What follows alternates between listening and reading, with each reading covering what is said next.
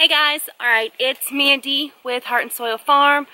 Rob is going to be coming up in a minute. So we are working on two little projects today, so I figured I would go ahead and pull the camera out. It does look like it's going to rain, so we're trying to rush um, and kind of show you what we're going to be doing. So this is one of our 50 foot um, garden beds. And so at the end of the year, we get it all, you know, we take the um, woven fabric up that we've laid down um, and we cover it every year. So we're getting ready to cover this to let it sit over the winter and then um, get it ready for spring. So we figured we'd take you along and kind of show you us covering this garden bed and getting it prepped. So we'll be right back. All right guys, here we go. We're gonna start unrolling this plastic.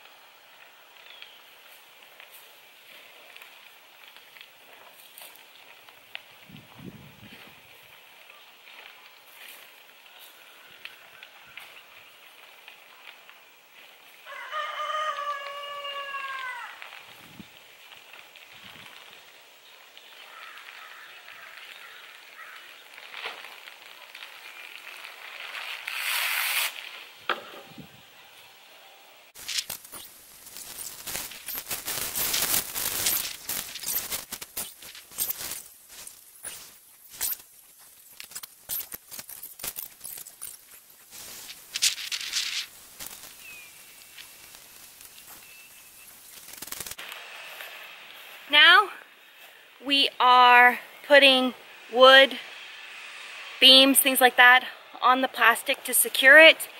We do not want to put any staples in this particular plastic.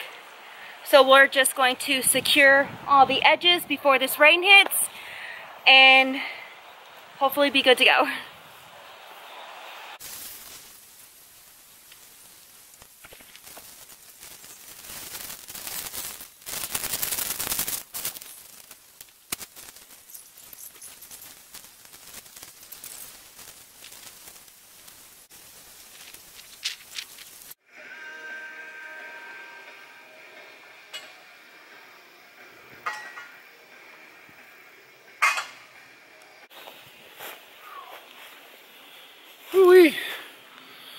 Guys, for you this won't seem like it was a very long process, but it took us a little bit. We had to gather some lumber and stuff together.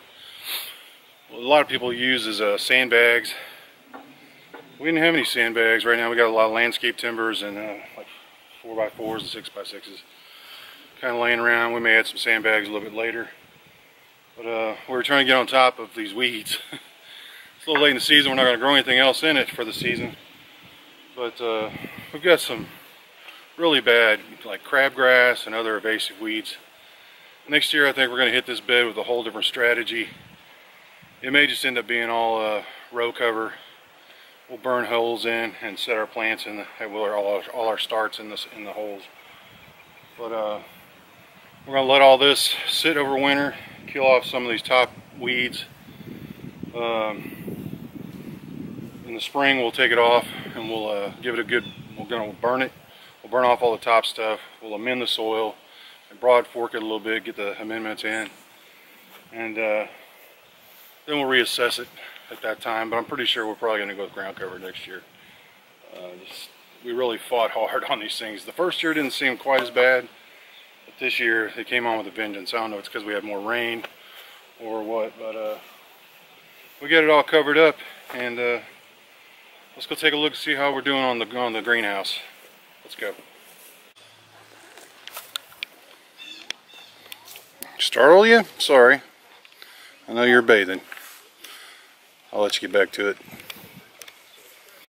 All right, everybody. So we're up here at the greenhouse. Um, what's the makings of the greenhouse? We got it well underway. There's not a whole lot left to do.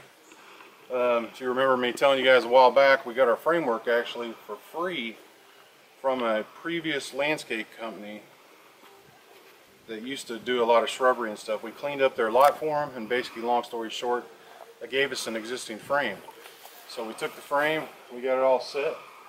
Um, it's actually, it's like an 18 foot by 30 feet. And uh, we got the supports up, we got our sidewalls on. I'm installing the wiggle wire track right now. Um, I got most of the track on. Um, I got to put some purlins across the top. I'm going to put three across, one down the middle and one off to each side for some more center support. And what's a purlin, just in case someone's new to this type of lifestyle and doesn't know what it is? Because I had no idea when I first started. Well, to me, it's basically like a one inch conduit tube that's going to be drilled and fastened to the top side of the hoop. Uh, it's going to be spaced out and it supports the framework at the top so there's not a bunch of this swaying going on. And uh, it's going to firm up a lot more once the plastic gets on as well. But um, then once we get the we still got to put the wiggle wire track across the each end hoop. And then we have to get working on the end walls. So I'm also going to take the soil in here. I'm probably going to give it one good till because it's kind of lumpy in there. It's not smoothed out the way we want it to. We're probably going to do some in, uh, raised beds in here instead of doing in ground, but we may switch that up. I'm not sure. I'm just going to try to level out the soil.